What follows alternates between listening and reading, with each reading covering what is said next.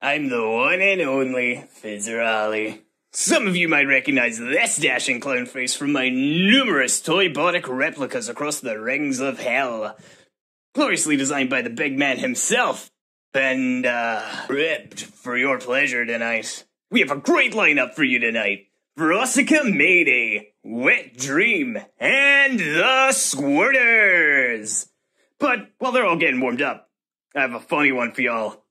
Did any of you hear about the bat shittery that happened at Lululand?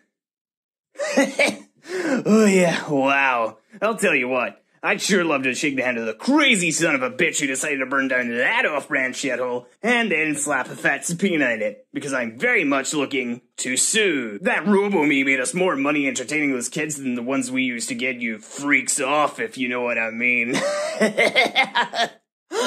I know what you mean. I had four. Okay, keep that guy far away from me. Anyway,